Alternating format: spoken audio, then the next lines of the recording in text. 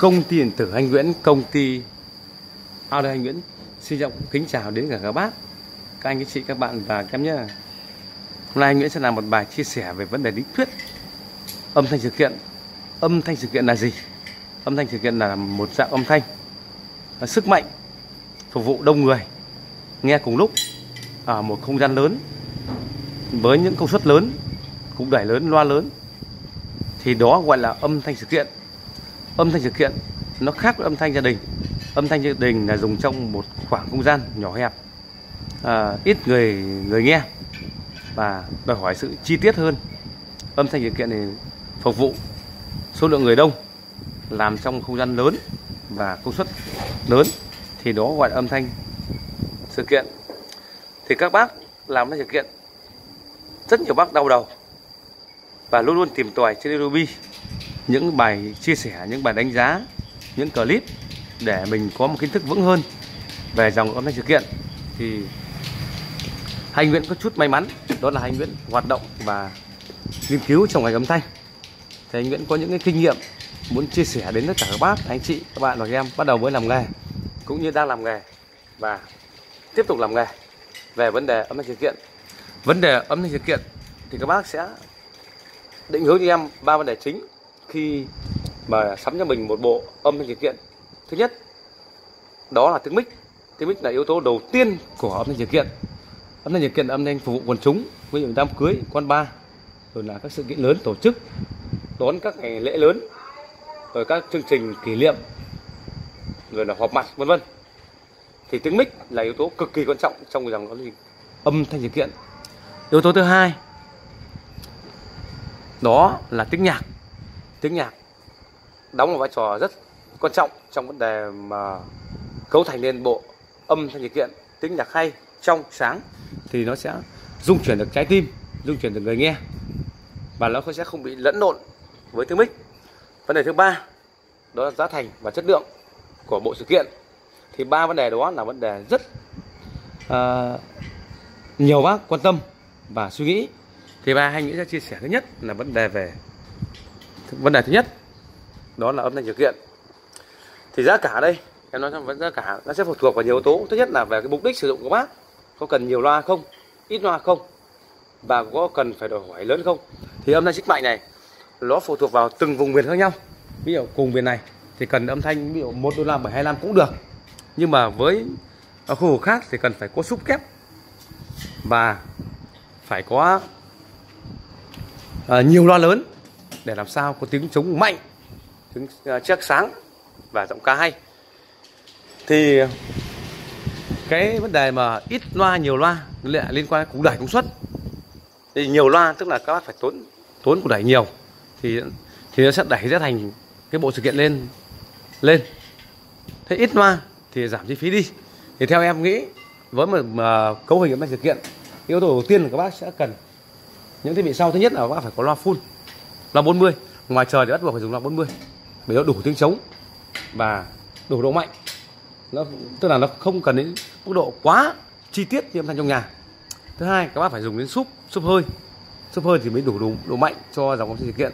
Thứ ba bác sẽ ghép cho em một hai đôi loa bát 30 để tạo lời. Tức là loa kiểm tra.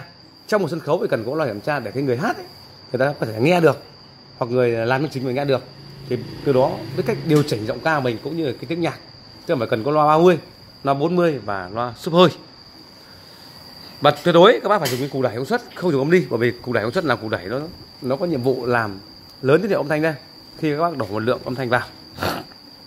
Thì đấy là vấn đề đầu tiên khi các bác xây dựng một câu hình âm thanh. Cần có loa 40 súp kép, súp hơi, tức súp hơi, có thể là 30 xin lỗi các bác, có thể là 40 có thể là 50 và loa 30 để cho kiểm tra hoặc loa mới có thể làm để tạo lời. Cho giọng ca rất là bay bướm và thanh thoát. Thì cái chất lượng loa cũng như là cái số lượng loa nhiều hay ít cũng đẩy nhiều hay ít thì nó sẽ phụ thuộc vào nó sẽ đẩy ra thành lên ờ, với một số khu vực khác vùng miền thì cái yêu cầu của họ sẽ khác nhau. Thì đối, đối với anh Nguyễn cái loa nó sẽ đóng một vai trò cũng rất quan trọng trong một cái dàn karaoke. Tất nhiên loa đẻo thì sẽ không thể làm được loa đẻo thế nhưng mà với những loa sự kiện mà anh Nguyễn đưa lên thì đều đạt tiêu chuẩn của đồng loa sự kiện. Đánh thoải mái, đánh bền bỉ, không hỏng. Cái vấn đề thứ hai đó là tiếng mic tiếng mic thì các bác chú ý em này, là vấn đề tai nạn trong ngành karaoke cũng như ngành giải trí. Tiếng mic nó quyết định đến rất nhiều vấn đề dàn hát. Tiếng mic đòi hỏi vừa nhẹ, vừa trong, vừa sáng, không được rú rít mic. Thì cái đầu đầu tiên các bác này, muốn lựa chọn đến một trung tâm nào đó thì khi test âm thanh, bác yêu cầu cầm hai mic hát, cầm hai mic hát bật mic lên hát và có thể đấu đầu hai mic với nhau cùng hát. Nếu xét tốt thì sẽ không ú mà xét không tốt thì sẽ ú bục loa bục loa. Thế nhiều anh em là thực kiện chỉ mở tiếng nhạc lên. Như thế chưa đủ. Tiếng nhạc mở lên thì theo anh Nguyễn nghĩ một người bình thường không cần có một cái trình độ gì âm thanh thì cũng thể là bật tiếng nhạc lên. Tiếng nhạc là tiếng bậc định của nhà sản xuất. Nên do vậy tiếng mic là cực kỳ yếu tố quan trọng trong uh, âm thanh. Tiếng mic rú rít ù rú nhá ù rú rú rít.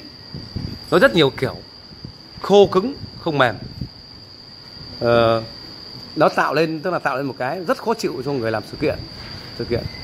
Thì cái kinh nghiệm anh Nguyễn thấy thì bác nếu mà yêu cầu bắt bật hai mic hai mic lên và hát chập hai mic vào nhau. Nếu xét tốt tiếng vẫn hay đó là thành công. Và cái yếu tố đầu tiên các bác phải cách cho em loa máy khoảng tầm 2 mét. Với dòng loa sự kiện thì các bác tại sao? 2 mét thì các bác mới đủ để nghe được cái cái độ thoát của âm thanh. Nếu các bác cầm mic dí vào loa, thì có thể làm được, nhưng mà không thể hát được. Đấy, giọng ca không còn phiêu, không còn sáng, không còn hút. Còn cái cái chuyện mà cầm mic dí vào loa, thì làm rất là dễ, rất là dễ. Nhưng giọng ca sẽ hát rất lặng và rất chán khi mà hát karaoke. Đấy. Vấn đề nữa là tai nạn khi các sử dụng các cái thiết bị chống ú chống ú trực tiếp và gián tiếp. Gián tiếp là những cái mic cái mang số hoặc là cân chỉnh đó là gián tiếp. Còn trực tiếp là à, dùng trực tiếp thiết bị trong ú.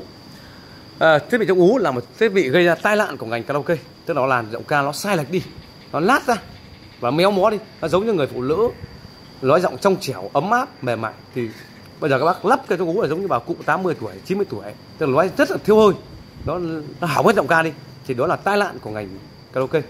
Đấy trong ú.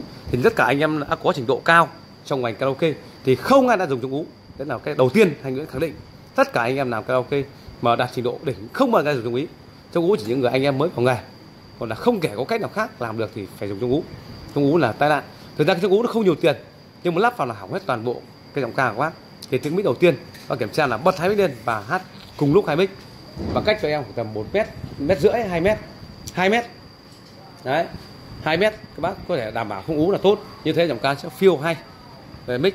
Thứ thứ ba là vấn đề nhạc. Vấn đề nhạc là vấn đề cực xử lý dễ trong vấn đề karaoke. Tiếng nhạc gần như là cho vào một định thôi. Cân chỉnh tiếng bát làm sao tròn gọn tiếng uh, tiếng chất cao sáng và tiếng trung nó bật nào nó sẽ đều ba giải nó không bị lẫn lộn. Tiếng trầm hợp lý. Tiếng trầm hợp lý. Thì những yếu tố xây dựng lên là karaoke. Tiếng nhạc hay tính nghĩa là phụ đục nhạc.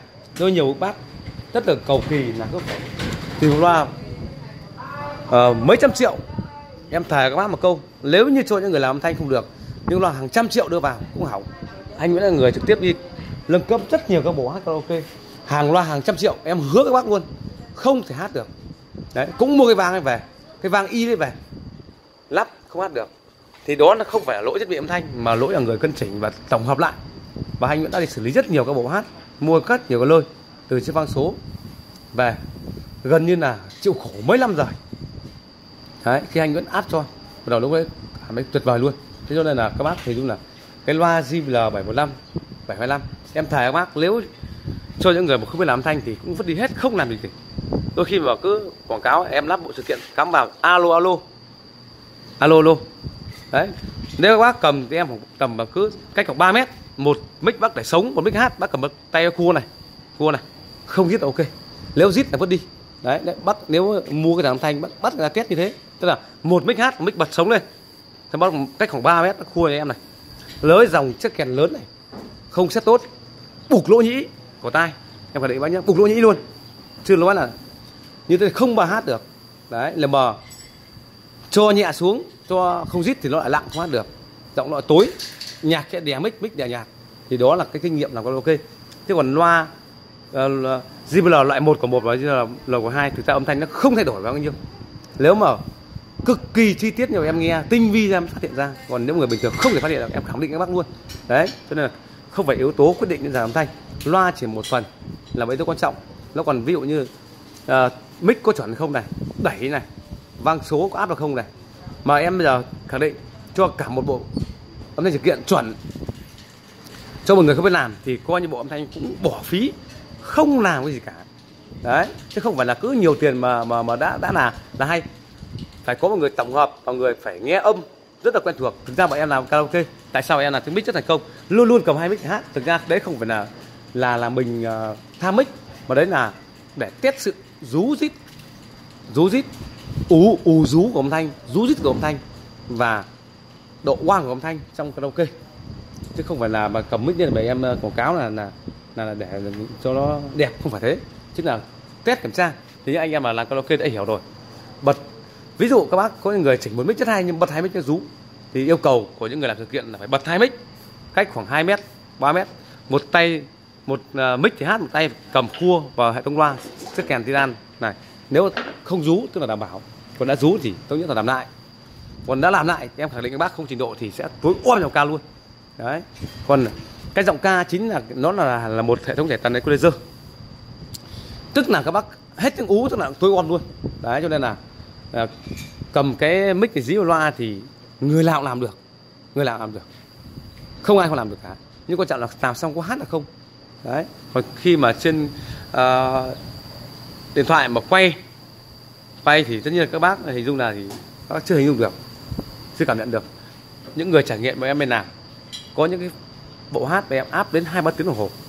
Đấy có những bác bác nguyên ở hà nội đấy đã mua những dòng si xô hồng siso một năm không BRV đẩy bốn kênh rất nhiều các thiết bị hay nhưng bác không thể hát được.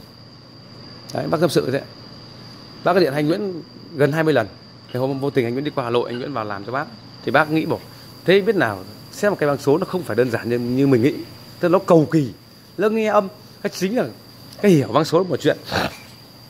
Nhưng cái kinh nghiệm cái kinh nghiệm để mà set áp nghe âm nó có đều không đó là phải có thời gian rất dài phải có năng khiếu thực sự phải có trình độ mới làm được về đó. Thì các cái dòng ờ, uh, lo sự kiện thì các bác chú ý này. Là em biết thường là các bác rất khổ tâm về vấn đề tiếng mic rất là rú rít lặng rất là mệt rất là mệt. Thì cái loa của các bác này nó chỉ là một yếu tố nhỏ. Tất nhiên loa đẻo nên đánh sẽ không không hay nó sẽ nhanh hỏng nhưng mà những dòng loa nó tương đối chất lượng tương đối chất lượng. Thì nó rất là bền hay nó hay. Chứ không hẳn là cứ phải bây giờ cứ khẳng định vào khi lắp các loại một của một vào hay hơn loại hai. Em khẳng định các bác em cho những cái trình, trình độ thợ. Vừa phải em dám thi đấu bác một của hai hay hơn rất nhiều một một. Em dám hứa các bác luôn. Đấy em dám hứa các bác em sẽ làm được điều đó. Mà cả thứ mic tiếng nhạc. Đấy chứ không phải là mình cứ nghĩ là như thế. Cho nên là tại sao những cái bộ mà em đi làm cải tạo rất nhiều anh em mua các âm thanh uh, hàng mấy chục triệu đô la cùng, cùng đất em thôi. Uh, rất nhiều tiền. Nhưng về khác đâu. Như một số bác bảy năm sách ấy nhà bác gọi sư loa từ loa rông và lơ rồi dòng tay loay. Cuối cùng không làm được gì gì cả. Đấy kể cả như một số bác đại gia ấy, mua nó eco phi rồi về. Em ghép xong em cho nghe thử test thử luôn. Đấy. Thực ra âm thanh thì người ta nhà xuất người ta làm là tính rất kỹ. Không phải là không. Đã à, tầm chất lượng lên thì nó thu nhau không đáng kể. Nên như quan trọng là khi phối hợp phối hợp với nhau đó là điều, điều khó. Còn à, âm thanh mà các bác cứ mua một cái âm ly về bác ấn vào loa thì dễ thôi có nhạc dễ thôi bởi vì nhà xuất làm sẵn rồi nhưng mà bây giờ tất cả các thiết bị hãng khác ghép vào nhau tức là đồng bộ về trở kháng đồng bộ về chất âm đồng bộ về cái quy chỉnh. Đó là phải hiểu biết mới làm được. Thì vấn đề karaoke sự kiện. Các bác quan tâm em ba vấn đề đúng không? Một thứ nhất là về cái giá cả. Thứ hai đó là tiếng nhạc. Thứ ba là tiếng mic là ba cái vấn đề đấy có rất đau đầu thì giá cả đấy phụ thuộc vào uh, từng vùng miền từng chất lượng loa và từng cái số lượng loa ít hay nhiều. Thì cái tiếng mic là quan trọng là quan trọng nhất trong karaoke và tiếng nhạc thì dễ lắm ạ. Tiếng nhạc nó ai làm được nó chỉ có chống bát và chép thôi chỉnh hợp lý là ok. Thế nhưng mà riêng về cái tiếng tiếng mic thì không phải ai làm được em khẳng định không phải ai làm được. Một điều chắc chắn. Thì các bác có nhu cầu về các dòng sự kiện đến với công ty để hành nguyện chắc chắn là sẽ được. Hành Nguyễn có những người đầu tiên bắt đầu mua bộ karaoke. Thì vậy là các bác chọn đến nhà em luôn. Thì về lắp được ngay, thì bác nói cái này làm gì mà khó nhưng bởi vì các bác đến cái chỗ làm được ngay thì nó không khó nhưng mà có rất nhiều các bác mất hàng rất nhiều tiền. Đấy, những bác làm mà đúng như anh ấy nói thì comment anh nữa nói, mất nhiều tiền nhưng mà không hát được. Mất nhiều tiền, bảy tám mươi triệu có 100 triệu có. Khẳng định như vậy, như Hà Nội. Rất nhiều bác. Mà nhiều bác trả giá là vất đi, vất, cứ vất đi, vất lại, vất đi, vất lại đi bên lại không được. Thứ hai là anh Nguyễn có đặc điểm này. Tất cả khi lắp karaoke nhà các bác có loa, bao giờ anh Nguyễn cũng cũng tận dụng. Đấy, có một số anh em mình làm thì thấy loa người ta là vất đi không phải. Chưa đủ trình để lắp thêm loa, càng thêm loa càng hay, bởi vì mình chưa đủ mình áp được mình hãi. Mình làm ở nhà theo một cái công thức rồi, đến là nhà khác thôi đem loa đã bảo hãi. Tức là rú rít hoặc không nghe hay thì hãi bỏ ra. Với anh Nguyễn có cho vào ngay. Trừ loa bị rè trừ loa bị bục, hỏng, không dám lắp. Còn đã chạy bình thường đảm bảo bác anh những chất chuột tiếp tục vào. Và cân lại ngay. Cân lại hệ thống này đấy, cho nên là anh Nguyễn làm đấy làm âm thanh, các bác nghe bao giờ cũng nó cũng chi tiết và hay trên mạng, đúng không? Bởi vì anh Nguyễn sẽ lựa theo loa. Lựa theo dùng dòng loa một. Tức là mỗi loa nó đều có một cái đặc điểm, đều nó là một cái ưu điểm và có cái nhược điểm của nó. Nhưng quan trọng mình biết cái nhược điểm đó để mình bỏ đi và phải lưng ưu điểm lên. Thì luồn lách vào trong cái hệ thống loa. Thì loa nào cũng là từ là lâm châm, vĩnh cửu, hoặc là leo, đều là cuộn dây, đều là màng đúng không? Màng giấy rồi gân đầu lụa vẫn bút xốp phân tần. Thì tại sao nó không hay? Đấy cho nên là ừ, mình cứ đổ loa là không phải. Nhiều bác nghe ở sau con nhà này mic hát nhẹ thế? À, mic hát nhẹ, nhẹ thế? Hoặc loa hay, hay thế? Thực ra để nó hay thì nó phải có một hệ thống này này. Sàng lọc. Nó giống như cái máy lọc nước ấy. Nó phải lọc qua tất cả rồi nó mới ra là hay. Không phải mỗi cái mic mà trông rú được mà không phải mỗi cung đẩy là hay. Không phải mỗi cái, cái lọc hay tức là tất cả vào ghép lại nhau hợp với nhau. Nó phải hợp cạo với nhau. Ví dụ như các bác chơi với ai nó phải hợp nhau. Thì mới ngồi nói chuyện với nhau được nhưng mà không hợp nhau thì người ngày nói phách người kia nói phách thì lúc mà chán đứng dậy thì âm thanh vậy. Khi ghép cả thiết bị vào với nhau thì nó phải hợp nhau. Thì mới hay được. Mình hai biết cái điểm yếu giả sử à, mình là nhà tổ chức mình cái người này mạnh người này yếu thì biết. Khi mà ngồi với nhau thì biết lựa hai người với nhau thì ngồi với nhau được dung hòa. Đấy chính là ghép đỡ cho nhau. Chứ không biết phối hợp thì rất là khó thì đó là vấn đề các bác quan tâm. Em chia sẻ về cái cái cái mà âm thanh sự kiện. Đấy, các bác, khi anh em lắp sự kiện cứ bắt bật hai mic lên thì em. Một mic hát mic đứng khoảng 3 mét, em quay vào vào loa. Lắc cái này, không rú là ok.